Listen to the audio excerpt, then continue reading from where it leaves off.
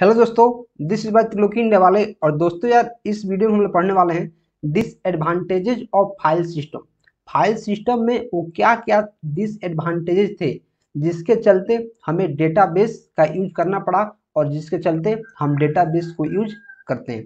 ठीक है तो हम वीडियो में आगे बढ़ते हैं और जानते हैं डिसएडवांटेजेज ऑफ़ फ़ाइल सिस्टम के बारे में।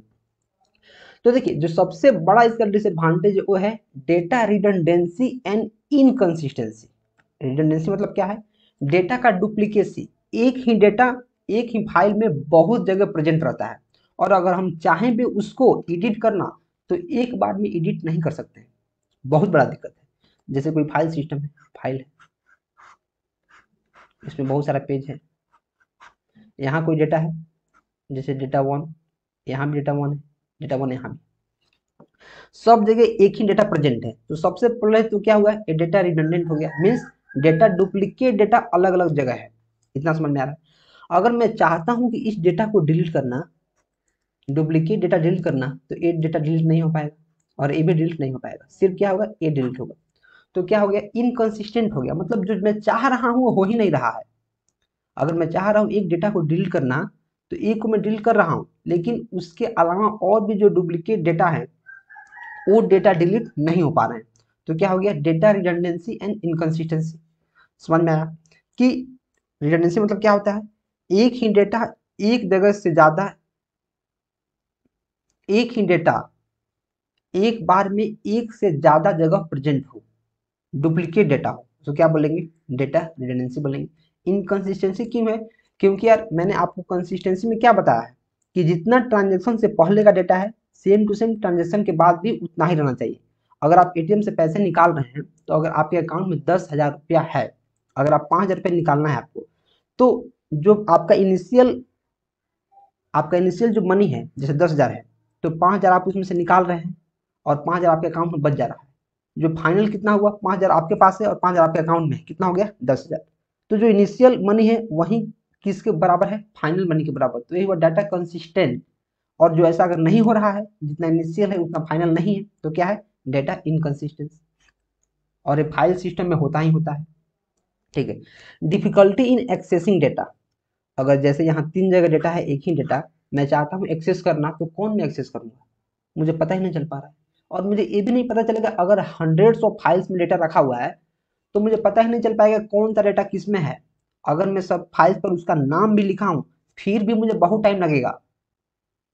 मुझे बहुत टाइम लगेगा, जैसे मैं पर्टिकुलर फ़ाइल में पहुँच गया, और उसमें किस पेज पर है, वो तो मुझे नहीं पता है। उसमें वो डेटा किस पेज पर है मुझे पता ही नहीं है। तो मुझे बहुत टाइम लगेगा, बहुत मुझे क्या होगी? परेशानी होगी डेटा को एक्सेस करने में। समझ में आ रहा है? अब है डेटा आइसोलेशन जैसे अगर आप डेटा को सेव करते हैं, बहुत सारे फ़ाइल में सेव करेंगे। जैसे आप किसी एक्सेल फ़ाइल में सेव कर रहे हैं, कोई डेटा आप वर्ड फ़ाइल में सेव कर रहे हैं, कोई डेटा आप पीपीटी में सेव कर रहे हैं तो ये क्या हो गया? हमारा डेटा आइसोलेशन हो गया।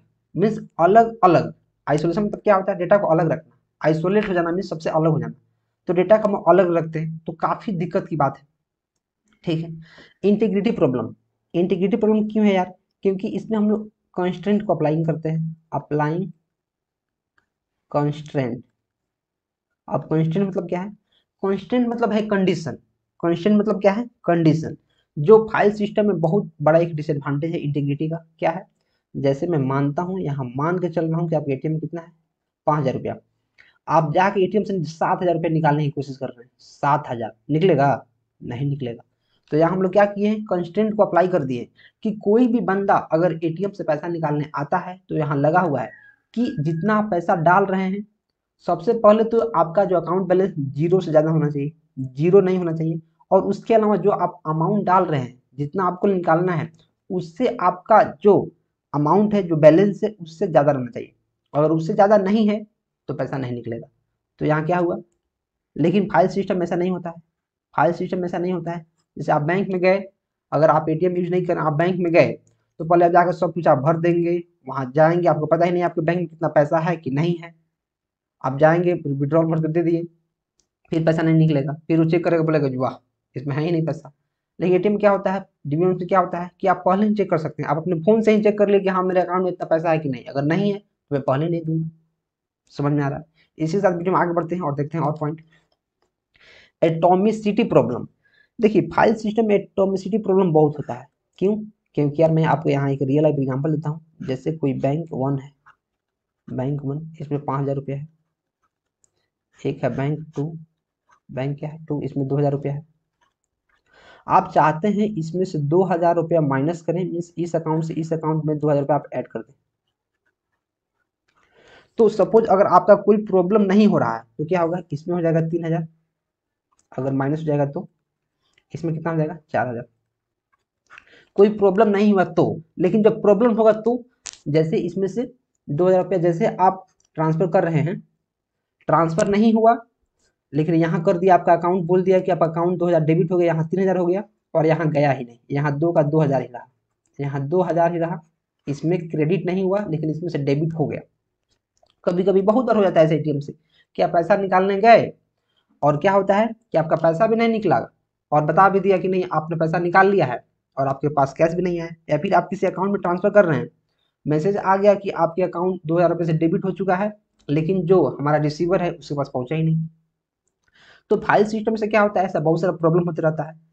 अगर जो पैसा है अपने आप इसमें ऐड हो जाता है तो हम समझते प्रॉब्लम नहीं है। अगर दो हज़ार रुपये हम ट्रांसफ़र कर रहे हैं और अगर नहीं गया किसी कारणवश और फिर इसी में ऐड हो गया तो हम समझेंगे कि हमारा डेटा क्या है।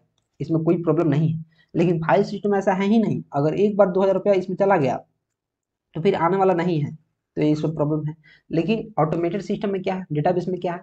आपका डेटाबेस हमेशा वेरीफाई करता है। जो हमारा इनिशियल है, वही फाइनल है कि नहीं? तो डेटाबेस में फिर वेरीफाई करेगा चेक करेगा और फिर आपका दो हज़ार इसमें लौटा देगा। तो डेटाबेस में प्रॉब्लम नहीं है। लेकिन फ़ाइल सिस्टम में क्या है? एक प्रॉब्लम है एटोमिसिटी का।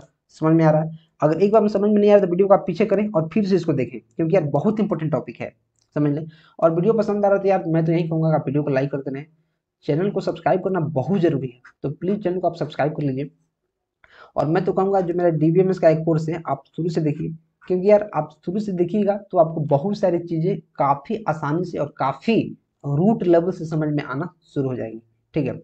अब हमारा क्या है? कॉन्करेंट एक्सेस एनोमिलीज मीन्स अगर कोई फ़ाइल है फ़ाइल इसमें डेटा है डेटा अगर 10 आदमी एक साथ इस फ़ाइल को यूज़ करना चाहे, कर सकता है? नहीं कर सकता है। ये भी एक प्रॉब्लम है कि हम लोग कंकरेंटली मीन्स एक साथ बहुत यूज़र इसको एक्सेस नहीं कर सकता है। एनोमलीज मतलब क्या? एनोमलीज मतलब प्रॉब्लम्स मैं आपको बहुत सारे वीडियो में पहले बता चुका हूँ। ये भी एक बहुत बड़ा प्रॉब्लम है कि एक साथ में फ़ाइल सिस्टम को सिर्फ़ एक ही आदमी एक्सेस कर पाएगा, उससे ज़्यादा लोग एक्सेस नहीं कर पाएँगे। नेक्स्ट क्या है प्रॉब्लम सिक्योरिटी प्रॉब्लम कि डेटा जो हमारा है फ़ाइल सिस्टम में, वो ज़्यादा सिक्योर नहीं है। बहुत सारा इसमें प्रॉब्लम है। अगर फ़ाइल में कोई हम डेटा रखेंगे तो कोई भी आएगा, इसको देख सकता है। जैसे मैं कंप्यूटर में कोई फ़ाइल रखा हूँ, उसमें कुछ डेटा है। कोई बच्चा आया, या फिर मेरा कोई भांजा आया, या कुछ, कोई भी है, जैसे मेरा बेटा है, कोई भी है तो मेरा लैपटॉप अगर यूज़ कर रहा है तो उसको अगर कोई गेम इंस्टॉल करना है। लेकिन देख रहा है कि उसमें स्पेस ही नहीं है। जैसे वो गेम इंस्टॉल करने की कोशिश कर रहा है, उसको एक मैसेज फ्लैश हो रहा है कि इस फ़ाइल को डिलीट करना पड़ेगा, तभी गेम इंस्टॉल हो पाएगा। जैसे मैसेज आते रहता है कि इतना फ़ाइल अगर आप डिलीट कर दीजिएगा तो इस गेम को आप इंस्टॉल कर सकते हैं। ठीक है? तो क्या किया? फटाक से फ़ाइल को डिलीट कर दिया। खत्म।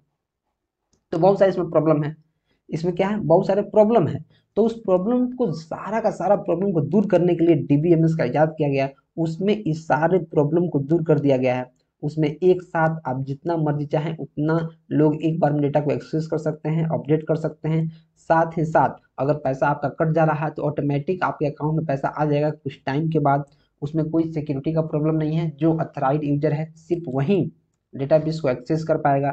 इसके अलावा डेटा उसमें डुप्लीकेसी नहीं रहता है इनकन्सिस्टेंसी नहीं रहता है। अगर डेटा एक जगह आपको अपडेट करना है तो हर एक जगह अपडेट हो जाएगा। वैसा आपको क्वेरी लिखना पड़ेगा। आसानी से आप डेटा को एक्सेस कर पाएँगे। कितना भी बड़ा डेटा बेस हो, उसमें आप जिस डेटा को चाहते हैं, सिर्फ़ उसी डेटा को आप देख पाएँगे। डेटा आइसोलेशन नहीं रहता है और इंटीग्रिटी प्रॉब्लम तो बिल्कुल नहीं होती है। उसमें सारा का सारा अलग अलग कंस्टेंट रहता है, उसको फॉलो करता है और काम को काफ़ी आसान कर लेता है। तो दोस्तों यार, वीडियो पसंद आ रहा तो प्लीज़ वीडियो को लाइक करते रहें चैनल को सब्सक्राइब करते रहें और मैं तो यही कहूँगा यार कि आप डी का जो कोर्स है, आप उसको शुरू से देखिए और अपने कॉलेज ग्रुप में भी शेयर कर दीजिए ताकि उन लोगों का भी हेल्प हो सके, ठीक है? तो मिलते हैं अगले वीडियो में। Till then keep supporting and keep exploring